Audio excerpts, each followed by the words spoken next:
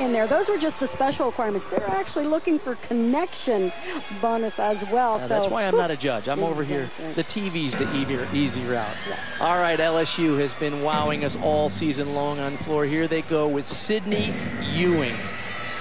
And this is so many people's favorite event because the gymnast can go in show-off mode, and the LSU Tigers do it as well as anyone in the country.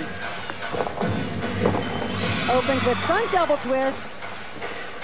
That could be a tricky landing, and she handled it beautifully.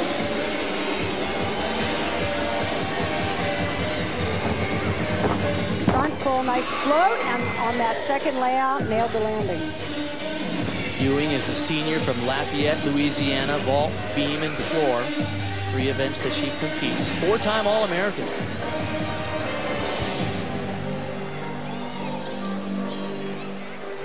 LSU is ranked second in the country in team competition to Oklahoma and second on every event. Oklahoma happens to be first in team and first on every event.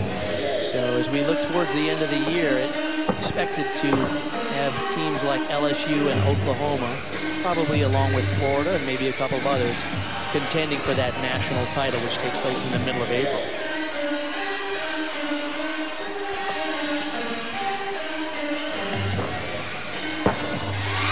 Good control on all three passes. That will put a smile on your face. Really nicely done.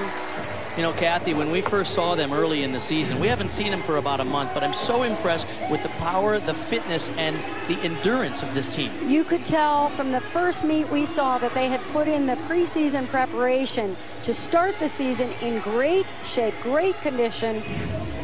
And that's how you endure this